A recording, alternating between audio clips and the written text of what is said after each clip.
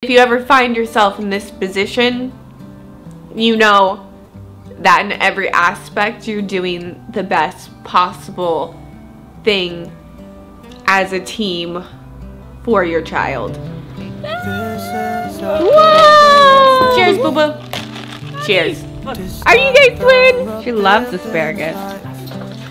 Okay. I'll make you more asparagus. And in a way, it's amazing, but it's something I didn't think about at the beginning of my journey.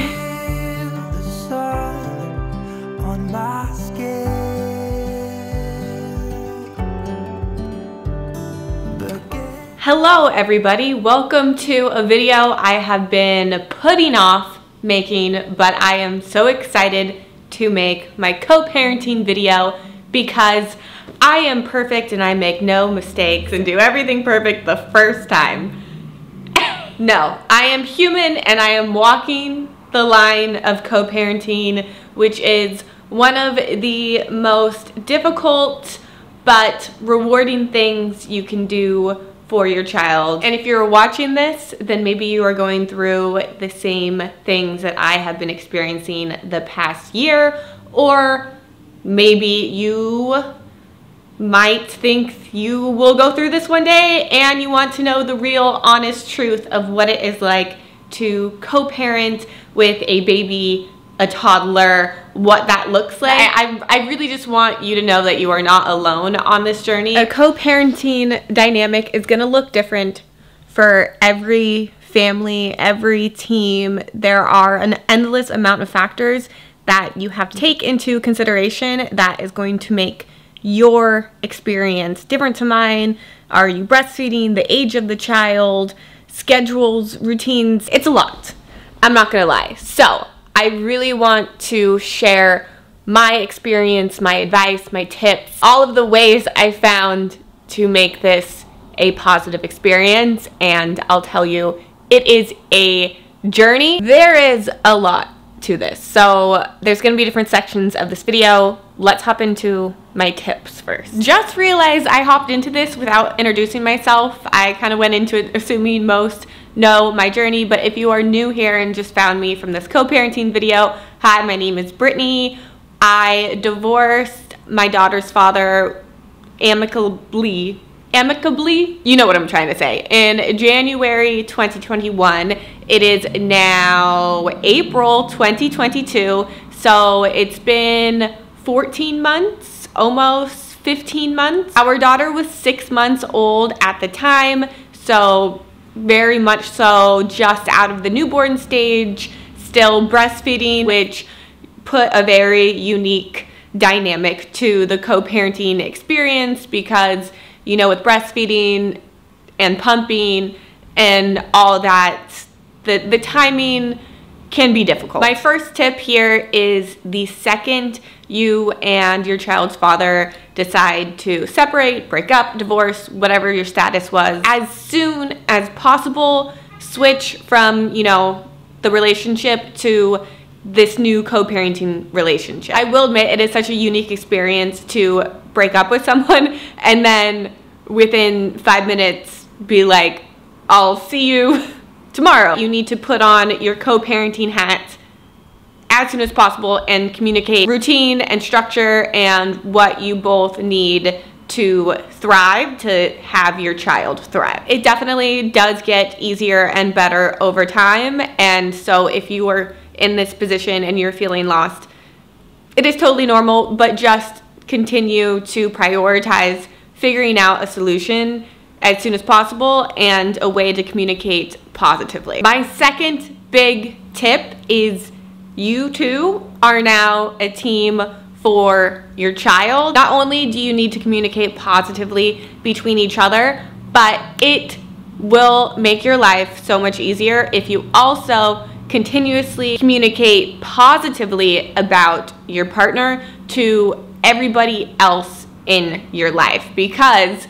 you're going to have to have an ongoing relationship with your teammate for, you know, people say 18 years, but really it's forever. There are to be some people in your life that understand this And if you talk negatively at all, even small, about the end of the relationship or the co parenting experience, you want your friends and family on a united front of positivity. And so it's a unique thing to go through because normally when you end a relationship, you you vent, you do your thing. And in this unique situation, you just got to keep keep it positive. There is only one time I would say to not do this and of course, like I said, every co-parenting relationship is going to be so unique and there's going to be different hurdles and factors that are going to probably change your situation and this advice for you. I would say to not follow this one rule if you experience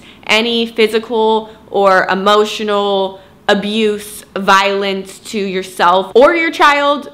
For this, I would unite your friends and family in the know to support you on this journey and they need to know the full complete situation because that is that is a totally different ball game and so Ignore tip number two if you are dealing with that. Tip number three is going to sound a bit like tip number two, but it is not just having the team be the two parents, but also the extended family, extended friends. You want to have a strong village for your child, and so mending any of those relationships or nurturing any of those relationships. And I see it as such an asset if the families can get along, do events together, and, and I know there's so many different chess pieces in this that it might not work for everybody's situation, but to the best of your ability to have a strong village for everybody. Number four can be really tricky for people to understand who are not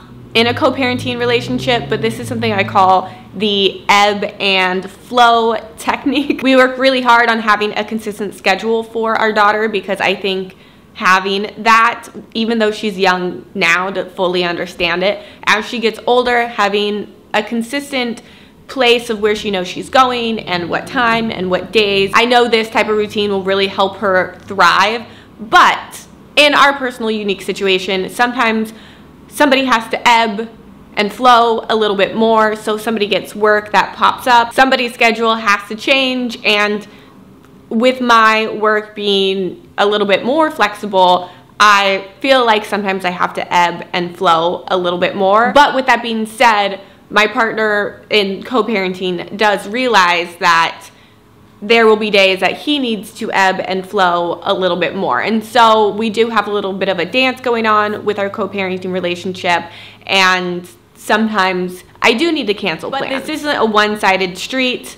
While as the mom with the flexible schedule, I, you know, I do feel like it can happen more for me, but my partner does understand that and will ebb and flow when I need it. I found this to be very difficult to explain to people that are not in the co-parenting situation or to be honest in my exact situation. So there are going to be things that happen in your life and your co-parenting relationship that other people are just not going to understand and they're going to think you're a pushover or, you know, any any other possible critique and you just have to hold strong to you know you're doing what is right even if it doesn't make direct sense to other people and you kind of have to live with being okay with that. Number 5, communicate, communicate, communicate. It was definitely a lot more in the earlier stages when you know, from six months to a year, there are so many transitions with introducing solids and nap schedules and routines and diaper sizes constantly changing, clothing sizes constantly changing.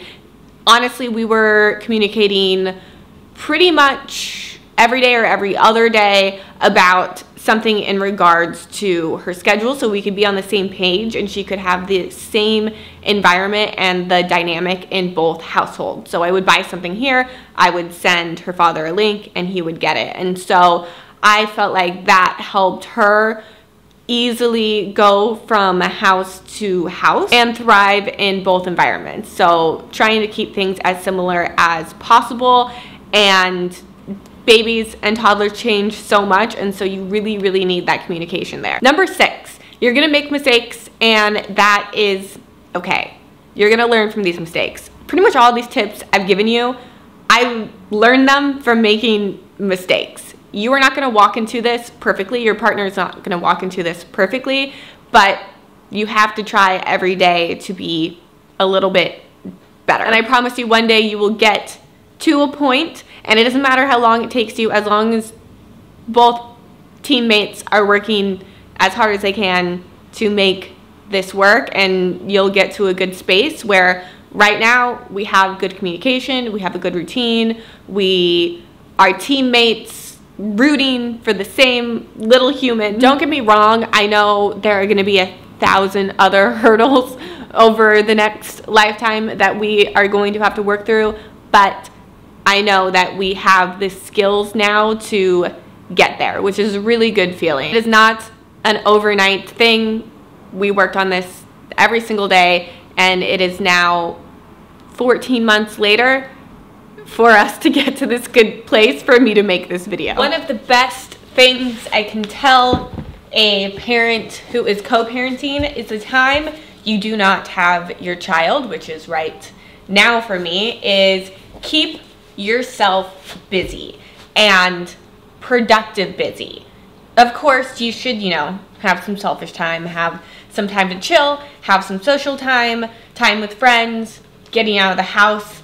But at least for me, doing things that are productive and out of the house that aren't necessarily fun, like right now, I'm gonna go get gas and a car wash, makes me feel good and not focus on the fact that I'm not with my favorite human in the entire world.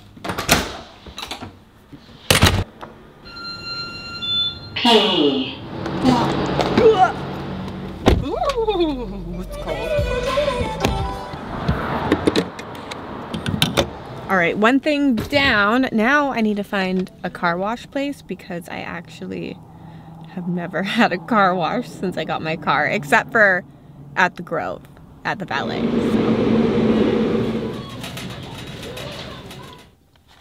Yeah. Yeah. Mm. But on another positive note, when I will, you know, get my time back with my daughter, which will be in three and a half hours, I will appreciate it so much more because you can definitely get to the mom point where you're so burnt out and so spent that you can't that you just feel like you can't enjoy it and so having this time to miss her while it's super lonely I then appreciate the full on time that I have with her and so a positive and a negative in one holy cow this donut's good get these from Trader Joe's the guy, when I was checking out, told me put them in the oven for a few minutes and it will change your life.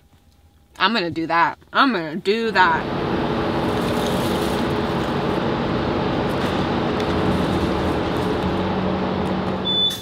You know, there is something really rewarding about doing everything on your own. Like everything within my home, I've carried in, I've carried out.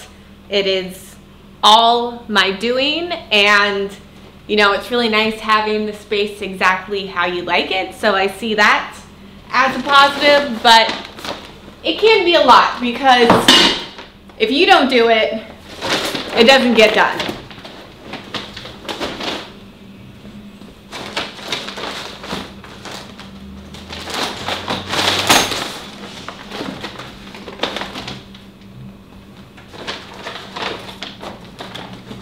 I did go to Trader Joe's hungry. If we can't tell.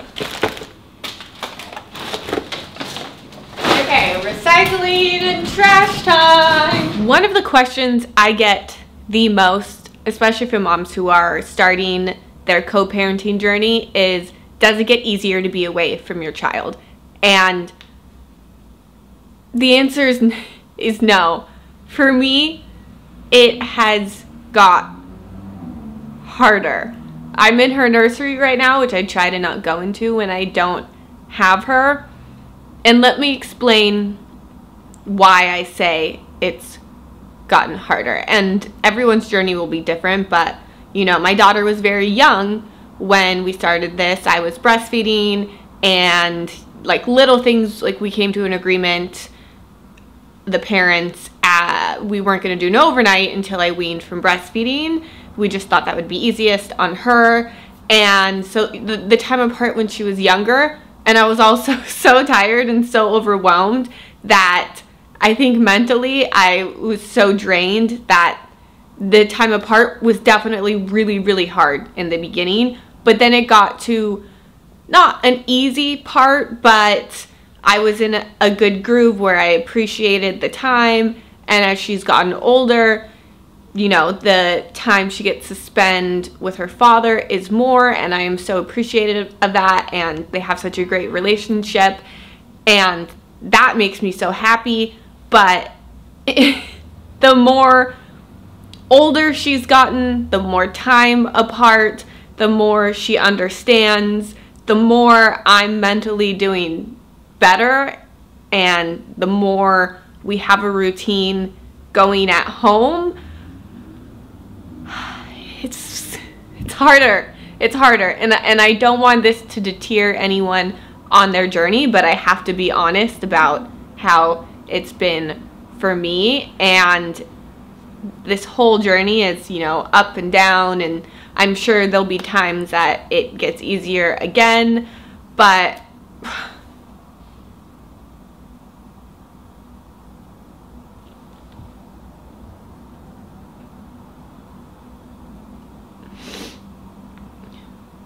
it is it's really it's really hard and I don't want to lie about that um, on on a positive, I think that we all went through this when she was so young that this is her normal and she's adjusted really well. I think this process has only got easier for her and that makes me so happy.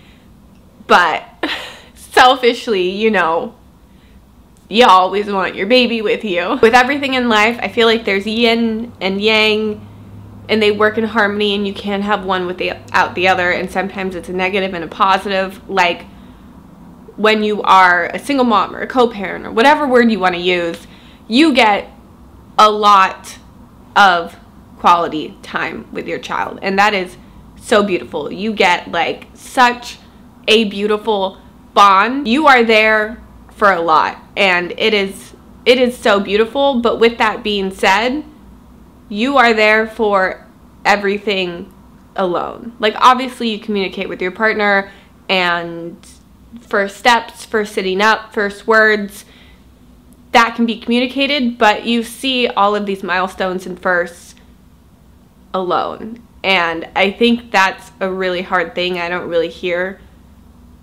people who co parent talk about. You are there for the hard times. It's hard to go through, you know, teething and sleep regressions all by yourself, but it's just as hard to go through those first steps and first words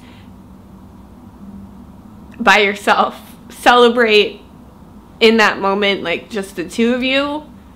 And in and in a way it's amazing, but it's something I didn't think about. It's like seeing the most beautiful night sky and a shooting star goes by and you get to cherish that moment just you and in that it's so lovely but you can't help but think experiencing that with somebody that beauty would be better. Right, I stopped crying. I put on glasses because my makeup did not hold up throughout that last chat. Uh, if you like these kind of videos, give this video a like so I know to make more of like, it's kind of like a day in the life with like advice on certain subjects or do you like more a sit down video and then like a vlog. But right now I'm going to run to a co-parenting dinner. I'm going to go grab Arrow after the dinner, but we are doing it with Arrow's father and his whole family. We try to do this every so often, routinely. Uh, I just think it's like the best thing to do in like a co-parenting relationship is having the child see all of the families get along, talk, communicate. Don't feel bad if you are not at this point within your co-parenting relationship by any means. It's a journey. okay, I think I'm gonna tr- take my camera and see if I can vlog it because it would totally fit in this like co-parenting video. But if it's not the vibe, then this video is gonna end abruptly. If it is the vibe, it's gonna start right now.